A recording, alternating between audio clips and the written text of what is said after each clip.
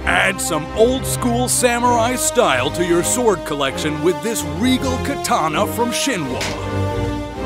The 28 inch Damascus steel blade is hand forged at temperatures of up to 1100 degrees Fahrenheit and continuously heated, folded, and hammered before being oil quenched and straightened. A heavy fuller spans the blade, adding even more authenticity to this storied samurai weapon. The cord wrapped handle is not only nice to look at, but also provides a firm samurai strength grip. Decorative embellishments such as the cast alloy Menuki, Tsuba, and Kashira add even more elegance to this regal design. A matching hardwood scabbard is included.